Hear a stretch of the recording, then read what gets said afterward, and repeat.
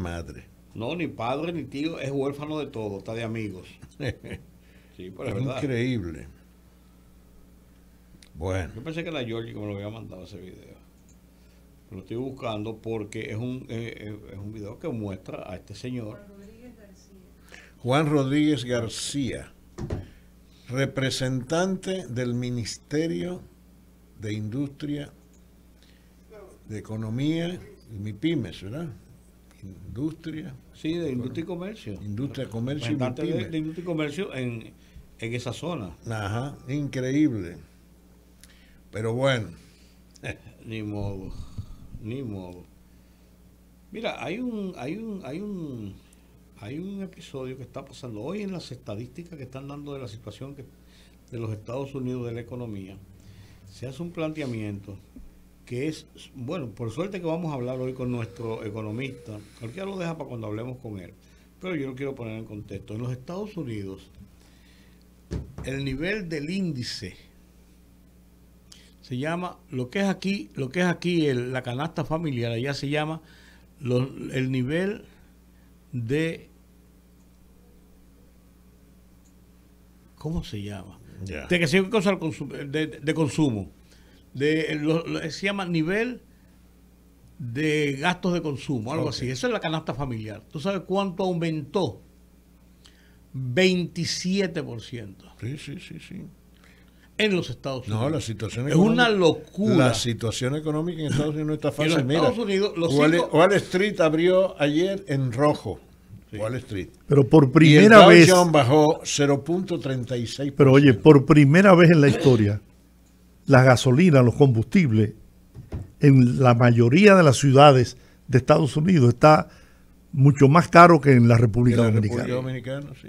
Así es. Los cinco principales componentes de lo que, con lo que se mide los precios al consumidor en los Estados Unidos, los cinco grandes ejes son vivienda y servicios, están juntos, alimentación, salud, educación y entretenimiento, porque ellos hay un renglón para tú votar el golpe un fin de semana, lo que sea.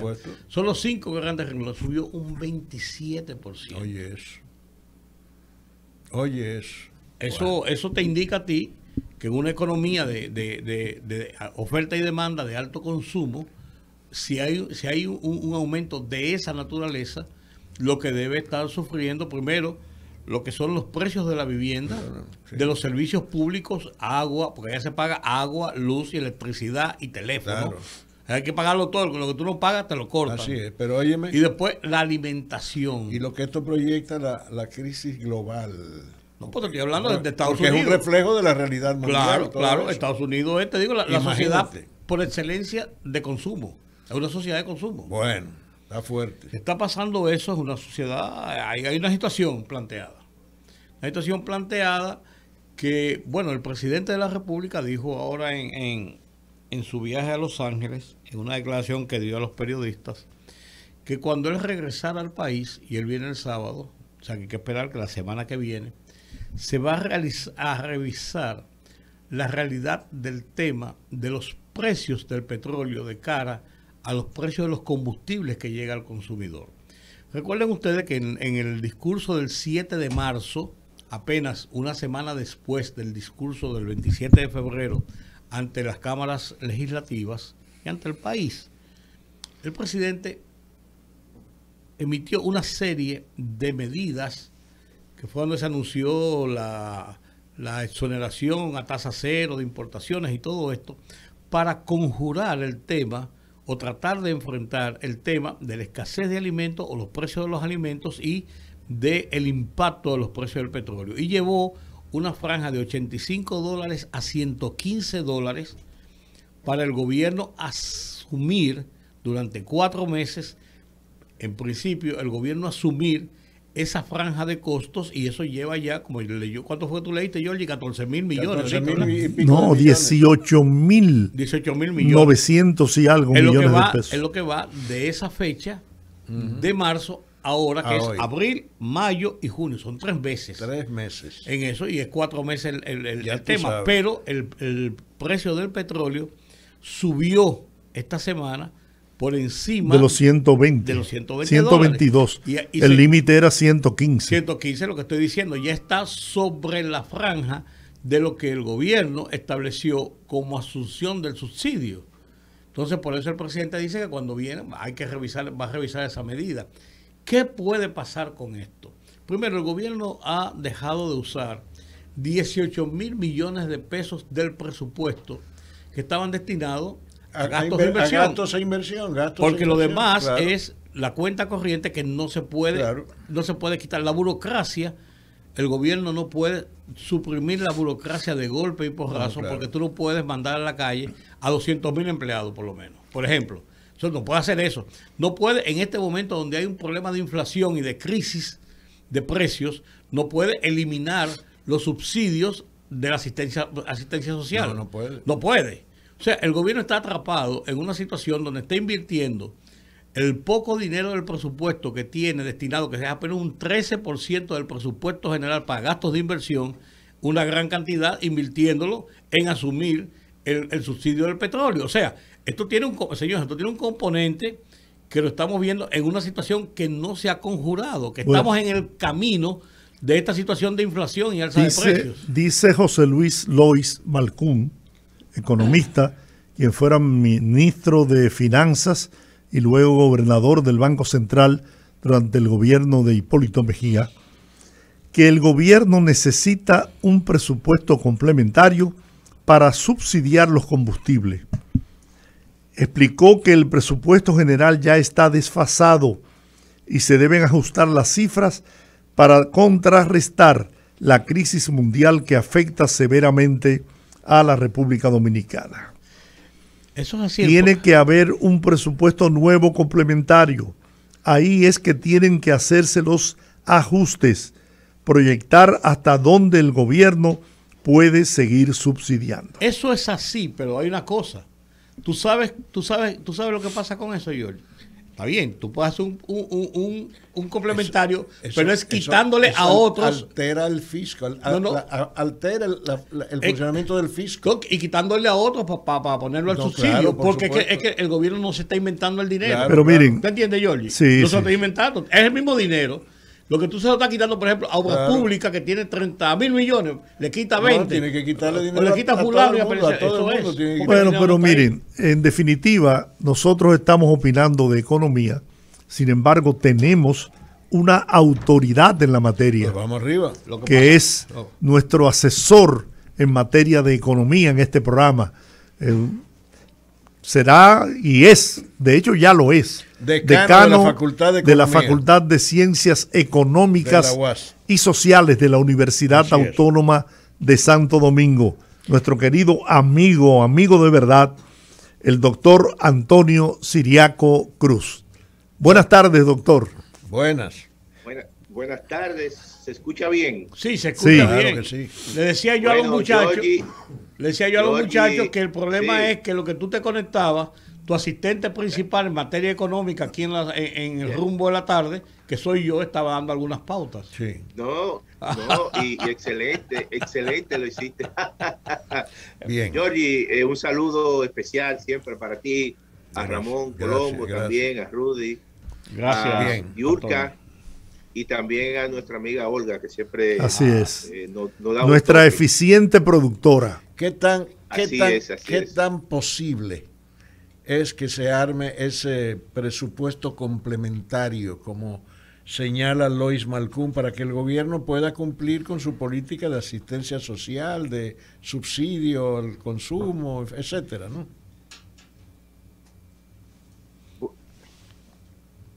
Sí, te escuchamos, Antonio. Te escuchamos. Halo. Adelante. Sí, sí, se escucha. Ahí sí. Eh, mira, eh, cuando tú revisas, ¿se escucha bien? Sí, sí. Se escucha bien, claro. Cuando, cuando ustedes revisan, uno, sí, cuando uno revisa la ejecución del presupuesto enero-mayo, es el último reporte que ha dado la Dirección General de eh, Presupuesto, uno observa que el gobierno ha tenido un buen desempeño en el manejo del presupuesto. Y, y Rudy decía algo muy importante es que gran parte de los recursos que se están dedicando, vamos a decir, al pago de subsidios, eh, es en detrimento claramente de al partidas importantes. El caso, por ejemplo, del gasto de capital, que se había estimado este año eh, mantener un nivel de alrededor de un 13%, cuando uno analiza la ejecución del presupuesto en los primeros cinco meses, está alrededor de un 8.5%. Ahora, algo interesante es que el gobierno ha generado un, balance primario positivo, un superávit primario que es muy importante por un monto de alrededor de casi 78 mil millones de pesos. Y cuando uno analiza, oigan bien, el balance eh, fiscal y uno observa todos los ingresos que el gobierno ha recibido, no solamente por recaudaciones, sino también por los préstamos que ha recibido, y les resta el total de gasto en esos primeros cinco meses, eh, incluyendo el gasto de corriente, el gasto de capital y los pagos y las amortizaciones a la deuda pública. El gobierno tiene presenta un sobrante de 112 mil millones. Sí por, lo tanto, eso significa que el gobierno ha venido haciendo ajustes importantes para obviamente generar cierto nivel de ahorro o recursos eh, o liberar recursos de una partida quizás prioritaria, pero en este caso hay que buscar los recursos para pagar los subsidios, cubrir los subsidios, y en ese sentido el gobierno lo ha hecho. Ahora, ¿qué ocurre? con el presupuesto complementario, si esta tendencia sigue, de que el petróleo sigue incrementándose, de que todavía el tema de Ucrania siga tensando, vamos a decir, los mercados de, las materias primas, y eso claramente está encareciendo todas las importaciones, eso necesariamente conllevará que el gobierno eh, pueda generar, incluso tener un déficit mucho mayor que el que se ha proyectado, y además eso puede traer como consecuencia el presupuesto complementario, que en definitiva lo más probable que si esa tendencia sigue, eh, claramente va a seguir presionando las finanzas públicas y el gobierno tendrá que en el mes de julio tratar de hacer una especie de eh, presupuesto complementario. Pero hasta ahora, hasta ahora, cuando uno observa la ejecución del presupuesto enero-mayo, claramente que el gobierno ha constreñido el gasto de capital, ha generado un balance primario positivo y está teniendo un cierto nivel de holguras eh, en el manejo de el total de los ingresos menos el total de los gastos que ha tenido durante estos primeros cinco meses. Dice el presidente, ah, dice el presidente en declaraciones en Los Ángeles, California, en el marco de la novena eh, sí conferencia, ¿no? De, las Américas, cumbre de las Américas. Sí, de la, cumbre. Que se proyecta la inversión extranjera en el país para este 2022 en 3.500 millones y cuidado si sobrepasa ese número, eh, superando eh, ampliamente las inversiones extranjeras del año pasado que fueron de 3.000 millones de dólares y que nos convirtió en, líderes de la región y ahora eh, afianzaría esa posición. Y dice él que eso es producto de la confianza que hay y las propuestas que tiene el país en el escenario internacional. No, yo creo, Giorgi, que la República Dominicana durante los últimos años siempre ha estado recibiendo una cantidad importante de inversión extranjera, una inversión que se ha concentrado en el sector turístico, en el sector energía, básicamente, y que el sector zonas francas, y eso eh, dentro de un contexto como, eh, como el que se está viviendo, un contexto de incertidumbre, creo que la República Dominicana le da cierto nivel de respiro, eh, al margen obviamente de la presión que ha tenido durante estos dos últimos años posteriormente después de la pandemia con el tema obviamente de la situación a nivel internacional. Eh, pero, pero la situación no deja de ser preocupante, ¿no? Eh, al margen obviamente de esa buena noticia, Eh, el tema de la inflación es un tema que está distorsionando prácticamente todo en la República Dominicana y en el mundo y que eh, claramente es una situación que hay que tratar de ver cómo se llega a un acuerdo ¿no? a nivel internacional alrededor de Ucrania, pero definitivamente es una situación. Mira, la inflación verdaderamente es un, es un elemento, un fenómeno que te distorsiona prácticamente la actividad económica, te altera eh, los precios y entonces eso puede generar, eh, eh, produce incertidumbre, no te permite establecer una planificación muchas veces porque te va alterando constantemente los precios. Pero, dentro de ese contexto yo creo que la República Dominicana está teniendo un año dentro del contexto aceptable, un buen año económico aceptable. Y además eh, eh, hay que tomar en consideración también que las proyecciones que tiene de crecimiento son proyecciones que en ese contexto no son malas. Pero sí hay que acostumbrarse a vivir con la inflación para los próximos meses. Y eh, más que en el caso de la República Dominicana, una especie de, de como dicen, de esta inflación, va a ser un crecimiento moderado con inflación y eso claramente es, eh, es lo que se vislumbra en los próximos meses. ¿La inflación podría afectar la tasa de cambio? Bueno, eh, mira, el Banco Central ha venido haciendo incrementos, eh, incluso yo pienso un poquito de la magnitud que no se esperaba, ya la última, el último incremento en la tasa de política monetaria fue de 100 puntos básicos. Y yo pienso que lo ha hecho con el doble propósito de no solamente eh, atajar un poco esa inflación subyacente que depende mucho de eh, la cantidad de eh, medios de pagos que el Banco Central precisamente generó en la pandemia y que ha venido recogiendo. Y esto es una situación que el Banco Central necesariamente ha venido atacando, pero concomitantemente también el efecto secundario de esas medidas es que delimita la actividad económica, a reducir los medios de pago también le quita presión al mercado cambiario y eso en cierta manera hasta ahora le ha dado cierto nivel de tranquilidad a el tipo de cambio. Y motiva también, usted piensa que motiva también al, ahorro en depósitos de certificados financieros porque se hace más eh, atractiva la tasa.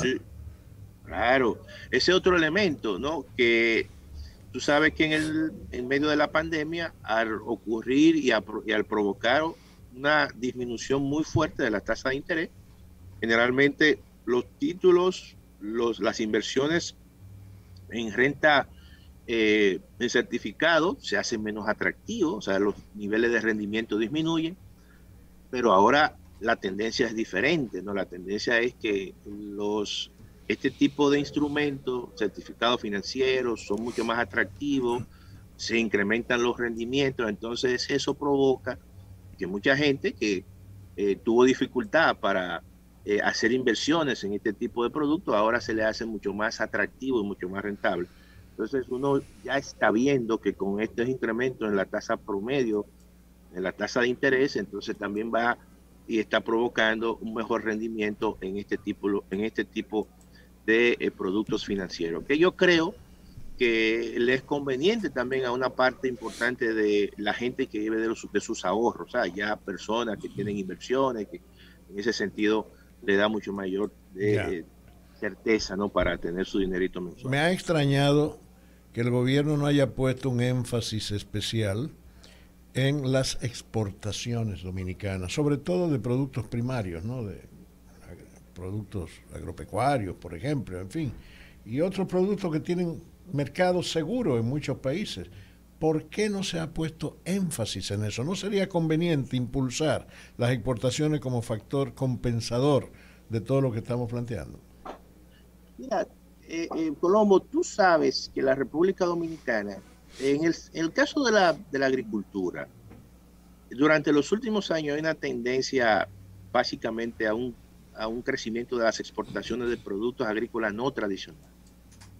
y esa tendencia ha seguido, por ejemplo, el, caso de las, los aguacates, el caso, por ejemplo, del el sector de la fruticultura, y ha venido incrementándose de manera paulatina. Pero no, si ha habido un sector ganador a nivel de las exportaciones en este contexto, ha sido el sector de las zonas francas, que ha tenido un boom importante. Y hay que decir que en el caso de las exportaciones de zonas francas, el componente de productos e insumos médicos ha sido bastante eh, eh, exitoso durante estos últimos años, a tal punto que la República Dominicana es uno de los principales exportadores de América Latina de insumos médicos a partir de la zona franca. De manera que a las exportaciones en sentido general no le ha ido mal en este contexto, ¿no? Porque incluso se ha beneficiado del el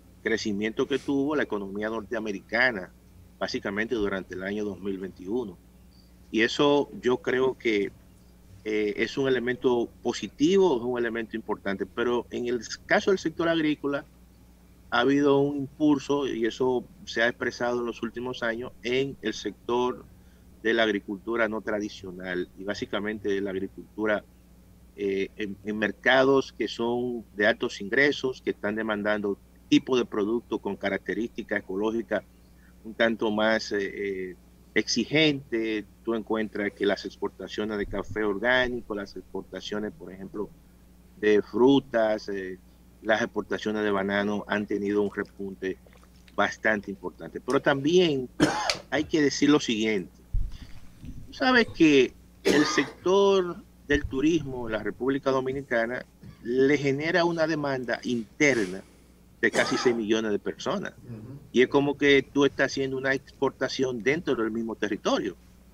Eh, por ejemplo, la República Dominicana era un gran exportador de piña. Pues. Se dejó quitar un mercado importante de Costa Rica, pero la gente lo que no sabe es que gran parte de esa piña ha sido demandada por turistas que vienen a la República Dominicana. De manera que eso le ha generado un mercado interno que es muy fácil, ¿no? Y más rentable, incluso. Más rentable, no, claro, y tú exportar dentro de tu mismo territorio, de manera que eso es un elemento que hay que tomar en cuenta para el caso del sector agropecuario. Bueno. Eh, doctor, se está planteando, ya incluso salió en los medios, la noticia de que la Bolsa de Valores en la República Dominicana va a tener la oportunidad de poner, poner a la venta acciones de empresas y compañías en la República Dominicana. La primera que hizo el anuncio ya fue una, empresa que es un ícono en el país, de una tradición centenar incluso, César Iglesias. Eh, ¿Qué opinión le merece a usted eso? ¿Era, era ya justo que se produjera este movimiento? era justo y necesario, porque tú sabes que la bolsa de valores en la República Dominicana tiene ya mucho más de 20 años. Y, y durante todo ese tiempo las acciones prácticamente que se transaban eran nulas. Ahora sí, ahora todo parece indicar que con esta oferta pública que ha hecho esta empresa, que verdaderamente son acciones, porque cuando tú tienes una acción de una empresa, tú tienes derecho incluso hasta los aspectos de gobernanza. Eh, y, de eso se trata. Con el parte de los dueños. Claro. Claro. Y, de eso se trata, de crear un mercado de renta variable en la República Dominicana. Que eso hay que extenderlo. El mismo Estado dominicano que ha hecho intentos de eh, determinado tipo de modelo de negocio con empresas públicas que son rentables, debería poner a la, como oferta pública gran parte de su capital accionario eh, como, como Punta Catalina. Puede mantener eh, las principales acciones, pero, pero está democratizando, vamos a decir, el capital. Muchas personas aquí, dominicanos ausentes, dominicanos que, están, que tienen que quieren hacer inversiones y que la hacen incluso en, Estados Unidos a través de plataformas eh, por internet y que compran acciones de Microsoft, acciones tecnológicas.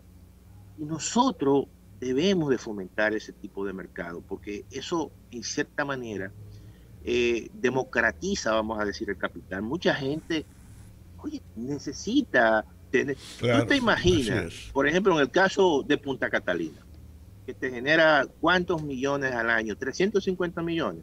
Tú dices, bueno, vamos a poner en oferta pública una, el 20% de las acciones. Oye, eso va a fortalecer esa empresa, pero también va a democratizar gran parte del capital. Lo que ocurre aquí es que en muchas de esas empresas, generalmente los socios son grandes familias y son aquellos que tienen la primera opción.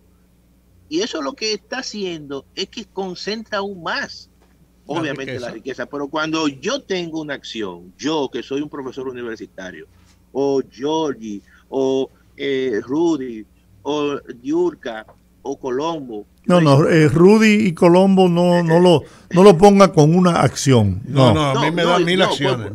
No, pero por poner un ejemplo, entonces ahí la gente de clase media se siente representado. Entonces, claro. yo creo que nosotros tenemos como que cambiar toda esta forma. Eso democratiza eh, la economía. Claro. Claro, la democratiza porque cualquier ciudadano común y corriente tiene una acción de Microsoft, tiene una acción de Apple. ¿Y por qué nosotros no podemos hacer ese, esa, ese, ese ejercicio? Y yo pienso que el Estado tiene, obviamente, eh, tres importantes empresas que son altamente rentables, que son empresas, sociedad anónima, y que se prestan a eso, como es el caso de la refinería, como es el caso del Banco de Reserva, como es el caso de Punta Catalina. Doctor, sin suponer yo que usted tenga una bola mágica hmm. para predecir el futuro, hmm. Pero confiado en su capacidad de análisis y sus amplios conocimientos en la economía, me gustaría no, ya eso vamos a hablar de qué día él toma posesión, pero eso es al final. En las puertas del decanato. Sí. ¿Qué, usted prevé para el futuro de la República Dominicana en, los en el próximo año? No, mira, yo, yo siempre soy optimista. En la vida hay que ser optimista. Y, y voy a partir también de un realismo y de una y de la realidad y de los datos. La República Dominicana es una economía que se ha diversificado. Es una economía que en los momentos más difíciles ha generado una capacidad de resiliencia, una capacidad de salir eh, rápido de la crisis. Yo creo que esto no se puede ver de manera eh, solamente de la República Dominicana. Hay que hacer comparaciones en el contexto que se está viviendo, tener tú una, una proyección de crecer, no sé, un 4.5, un 5%, es una buena noticia dentro de ese contexto.